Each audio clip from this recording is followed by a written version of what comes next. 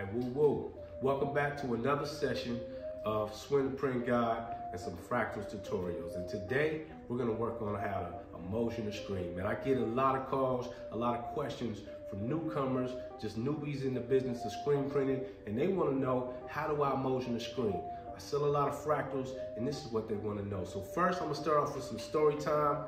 But before we do that, all the real ones know what to do, man. Like and subscribe, and let's get to it. When I first started screen printing, man, I ain't know no better. You know what I'm saying? I used a cookie sheet right out of my kitchen because that's what it looked like they was using on the video. And so I emulsioned probably about a dozen screens and it worked. It came out thick as hell, but it worked. But today, we're gonna use the real deal. We got actual scoop coater right here, and I believe this is about an 18 inch scoop coater, and we use some PhotoCure Blue emulsion, and this is what I use, so check it out.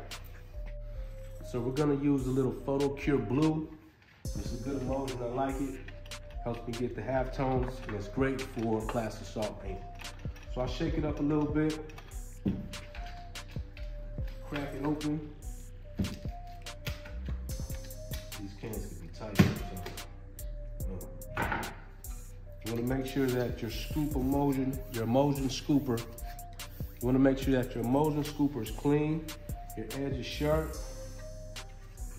And then we want to pour a good even amount in there.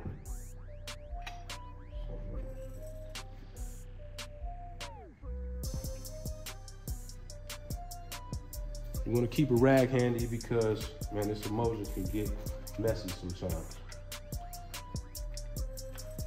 So you want to pour not too much, but enough to do the job that you need. Oh. Wipe off the excess.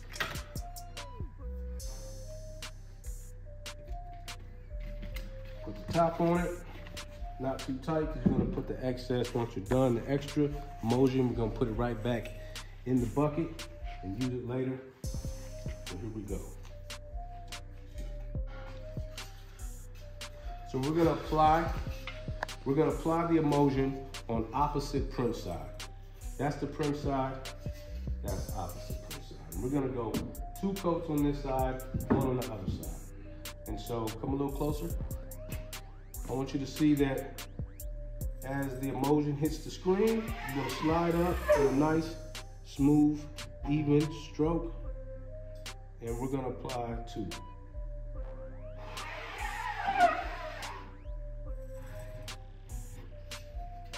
Spin it around. And then we're gonna do one on the print side to push that emulsion through the back side. And we're gonna store it with the print side up. do it again. Opposite print side. Let the emulsion hit the screen. Bring it back. We're gonna do that twice.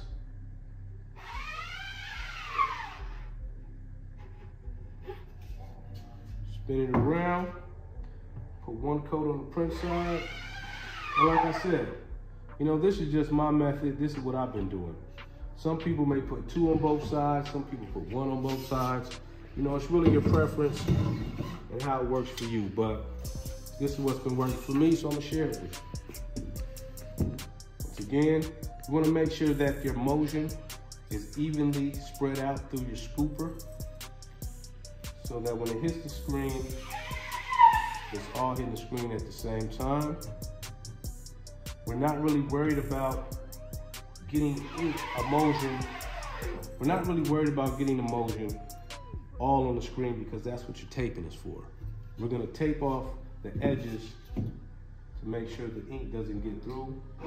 One scoop on the print side. That's my preference, you know? Boom. And you store it. I've been using this uh, storage right here that I made probably about 10 years ago as well. You know, I just got a big freight uh, box and then I put slots in it so I can put the screens and I think it holds about a dozen screens at a time. And it works great for me. You know, you don't have to have one of those expensive uh, screen holders in order to do the job, man. It's all about making it happen. So we're gonna have one more screen, actually two more screens to go.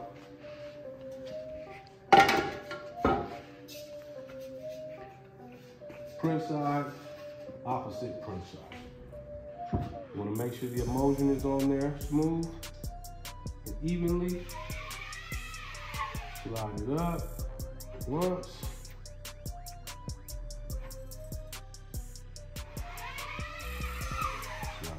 Up. Do the temptation spin. Wow. Roll the other side.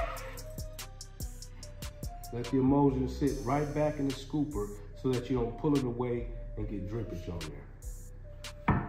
The smoother you get your emulsion on there, the better your images come out.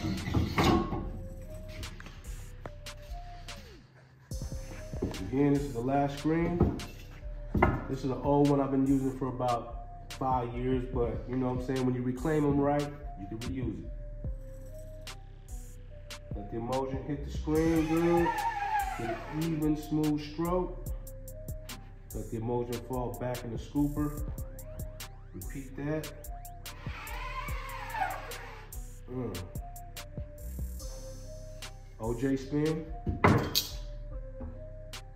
Get the print side. Let it fall back. Beautiful. It's easy. And once you get it done, then you want to close it.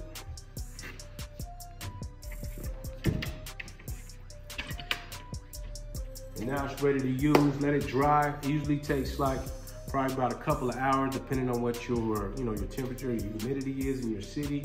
But to me, I let it sit there for a day or so. It's not a big rush. If I really need to use it, I might turn the fan on in the back and then, you know, it'll blow it and dry it in about an hour. You know what I'm saying? No rush. But tonight, we're gonna let it sit there for tomorrow. We can expose the screen. So this is what we do when we put the excess back in. You know what I'm saying? I've, I've always been an artist. I'm a finger painting artist, so I use my fingers, you know what I'm saying? And I just get it, scoop all the excess back in there, because we can use all that. Emulsion ain't cheap. And it seems like whenever you need it, if you ain't got it, shit out of luck. And so all of these little extras that you get to save ends up saving you money. And that's what it's about. It's about time, it's about money.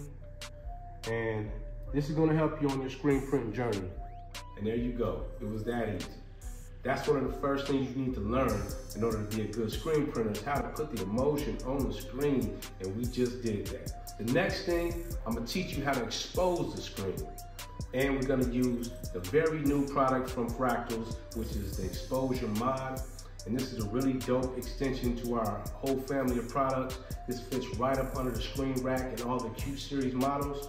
And we're gonna show you exactly step by step on how to expose the screen. And it's easier than what you think. I'm gonna make this real simple. So all the real ones know what to do, man. Like, subscribe, all that good shit, man.